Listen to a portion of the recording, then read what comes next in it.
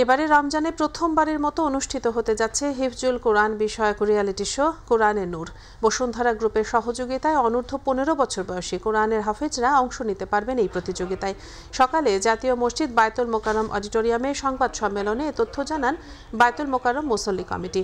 অনুষ্ঠানে প্রধান অতিথি ছিলেন বসুন্ধরা গ্রুপের ব্যবস্থাপনা পরিচালক সায়েম সোভান আনভির। এ সময় আরও উপস্থিত ছিলেন জাতীয় মসজিদের পেশ ইমাম।